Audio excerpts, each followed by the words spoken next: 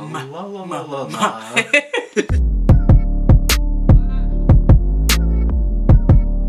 Welcome back, Pon Pon Gang, and today we are here with a another video to talk about our financial journey as two young adults, two married young adults with all kind of life's responsibilities. That I'm they- young.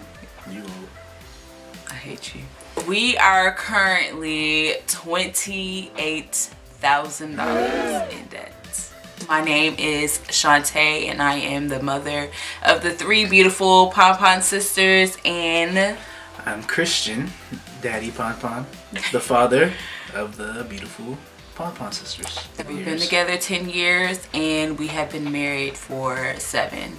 Uh, we got married very young and had kids very young so a lot of our life experiences are We've grown a lot together. We've grown a lot together. A lot. Oh yes, we have gone through every trial and tribulation together as a couple. Um, seems like it's been forever. Jesus Christ, still got forever to go. still got forever to go. so we're not saying we're twenty-eight thousand dollars in debt, and Not struggling. we're not struggling. We are very comfortable. The bills that we have, we are able to pay, but we aren't good in the savings department. We spend more than we should. Yes, Yeah. I can agree. First thing we're going to talk about is our lack of financial literacy. Unfortunately, we were not taught how to save and what to expect when it comes to making big purchases like uh, buying a house, buying a car. So, a lot of uh, things we've had to learn, and unfortunately, we learned after we had already made our purchases. Yeah. Our first big purchase together as a couple was our, Our car. yes, our car. We just had our first baby, um, Kalia. And uh, at the time I was driving a Crown Vic. Terrible car. It was it was nice. He he wanted to suit it out to be what fucking Capri Sun. it was Capri Sun, wasn't it? Everybody at the time was doing Do like uh, Skittles and was doing um uh, what was it called? They had Fruit Loops. There was a Fruit Loop. Did we ever Yoo-hoo? Yes, it was a Yoo-hoo car they used to drive around here a lot. With labels and supposedly they were getting paid. paid so it was just yeah. a thing that I was trying to do to possibly get paid driving my car. I'm pretty But sure you probably would spent more money than you would have gotten paid for the sponsorship. Like it was ridiculous. Anyway, I traded it in. and we were at the dealership going in there blind and I know we looked like fresh prey for oh yeah, autumn salesmen. very. We ended up getting a 2012 Hyundai Sonata. Ended up upside down on it. Yeah. We had young credit. No, not no credit. Yes, so It wasn't bad. It was wasn't just- bad. It wasn't established. not established. And we bought our family vehicle together. We had our first little girl, and we wanted to make sure we had reliable transportation for her. Yeah, that that Vic wasn't reliable. Not reliable at I all. was uh, Driving young, like an idiot. more gas efficient, big enough for all three of us, and something we can grow into. Yes. And we have now grown out of it. we bought our car blindsided. We were not knowledgeable on anything, any of the terminology that they threw at us. We had no clue. All we knew is we needed a car and we had to do what we had to do. Our next big purchase was our house which we bought back in 2017. We were expecting our third child and we were living in a two bedroom apartment. We uh, had no money saved going into the purchase of our home, which was a big no no for us. But again, life and we had to make ends meet. And I was not going to be raising three children in a two bedroom apartment. I was very adamant about that very and then I was pregnant so you know just don't argue with the pregnant lady our loan officer for our mortgage she was like super nice which I mean they're making money Yeah, off of they're us making money. so I mean cool. she she was cool though she really did explain everything into detail if we had questions she was willing to answer them with honesty at least we felt she was honest of course we went into that blindly as well didn't know half the terminology for that. When we sat down and signed that contract, we had no clue. Yeah. Where do I sign? What? Right. That's pretty much where we were. It was like, oh, okay, so we sign here. Gonna be how much a month? That's all we need to know is how much it's gonna be a month, when we need to pay it, and who we paying it to. Fortunately, we had to choose space over um, quality for our house. Not saying our house is like ran down or raggedy, but we knew buying it that we were gonna have to make some big renovations to it.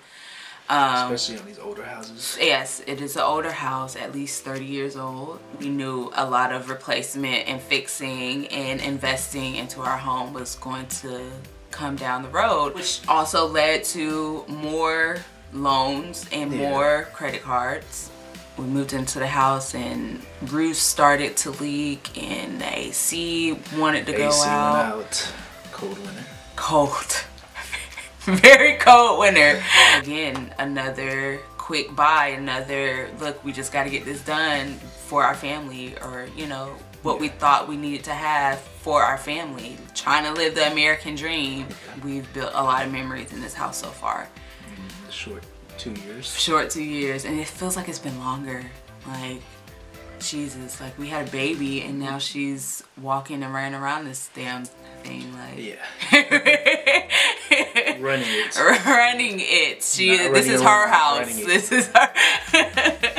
that was another lack of financial literacy. I mean, we didn't have parents who were financially financially literate and were unfortunately they couldn't teach us. Um, Yeah. So a lot of stuff we had to just learn and Trial and error. trial and error. Like story of our life is trial and error. Another factor that added to our $28,000 in debt was our frivolous spending. As credit cards, I love me some credit cards. and that is another learned behavior on my behalf. My mother has probably every store department credit card known to man. And I thought that was normal to have you know you walk in the store you want to buy something apply for the credit card you know? And then you have Christian who I have two. so you're just gonna put me on blast. I only have two. So y'all know whose $28,000 this is Just say it. I definitely have my fair share of credit cards. I will not lie. Um, as long as they keep hitting that approval button, I will continue to apply for them. I, I don't even know how many. I'm not even gonna say how many I have because he'll just sit over there. I have two. She has too many. I can't stand you. oh, apply for this. It's only at 30% interest. Sign me up for it. oh, you need my social? You need fingerprint DNA too? I give you all of that. Another big factor is eating out. Yes. A lot of eating. It's expensive. It's ex- It is expensive. And Yeah. it's, And we tip well too. So we do, we do tip well. So if you see us, don't be like, mm, they ain't gonna tip. Now we tip very well. We um, definitely do a lot of eating out, unnecessary eating out because we know how to cook. Yeah. And we have a kitchen that we've recently renovated, Yep. which adds to that $28,000. it's just so convenient, It is. so easy. It's actually is right up the street. Right up the street, like legit. Bojangles. We can walk to it. Yeah. I don't want to say I want to do a bologna sandwich diet, but we probably should go on a bologna sandwich diet. Mm, yeah.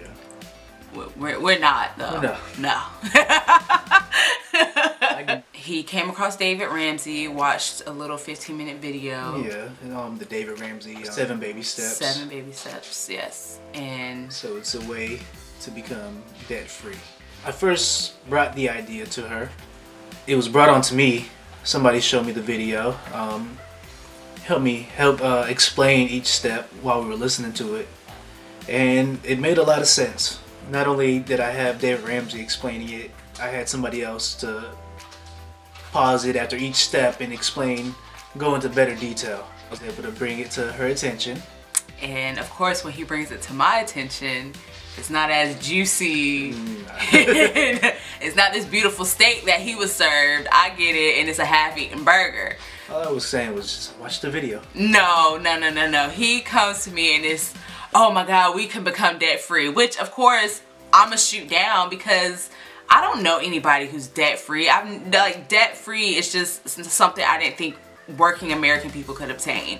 Like I just figured everyone's in debt because everyone I know is in debt and it's just a part of life to it's a, it's, a mindset it, it, it, definitely is a mindset i will agree um, so i already was kind of like shut off by that he leaves with oh we can become debt free and um, then he starts explaining that yeah we can save six thousand dollars and pay off the house and i'm just looking at him like yeah, that ain't that ain't happening. Not in our lifetime. Like I don't know what jobs and what money and bank account that you see, but that ain't happening for us. He nagged me for about what two weeks. Yeah. For me to finally give in and watch the David Ramsey video and it seemed like it could be obtainable. It seemed like, you know, the steps were simple and like I, of course it's a long-term goal. It's definitely yeah, it's not gonna happen overnight. Definitely not gonna happen overnight.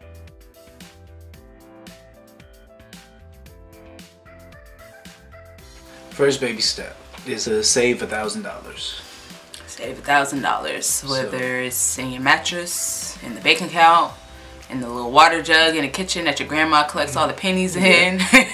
Wherever. Just save a thousand dollars. So that is our current step right now. That is what we're working towards. And he tells us to save a thousand dollars as fast as you can. Yes. Step number two is to pay off our $28,000 yes. of debts so, by doing the snowball effect. The snowball effect basically is listing all your all your debt that's from highest to lowest though. Pay off the smallest one first. On the lowest amount is what you're just basically focusing on. Focusing on, yeah. yes. So all that focus on that one, once that's paid off, the money carried over from that, you're focusing on the next one and once you get rid of that, it starts to build. Yes. Get bigger. Just like the snowball effect. And you will begin to pay it off. So by the time we get to our highest credit card or loan, we'll probably be putting anywhere to be able to just take chunks. Chunks off of it. Yeah. And Lord, that will look so beautiful. We right now spend 800 almost nine oh yeah almost 900 dollars a month paying off credit cards and that's just like bare minimum not putting anything extra baby step number three um, is to save up an emergency fund which like I've never heard of an emergency fund um, it's very important. it is it is very important. And I thought that step was absolutely ridiculous I'm not even gonna lie I thought that was a very like an emergency fund like what what for that's and what credit cards are for. Yeah, that was exactly my response. That's what we have credit cards and we finance and have loans for, um, which is terrible, terrible thinking. So I'm I'm not gonna say that I sat here with open arms and and was welcoming on this idea. I definitely was not. I was completely against this because I had already set my mind to it's okay to have credit cards, it's okay to be in debt, it's okay to have to finance. Like, I mean, it is okay but not to the point where majority of our check is yes. going towards yeah. credit cards. So back to the emergency fund, saving up to three to six months in household expenses. That includes your mortgage, your light bill, water bill, grocery.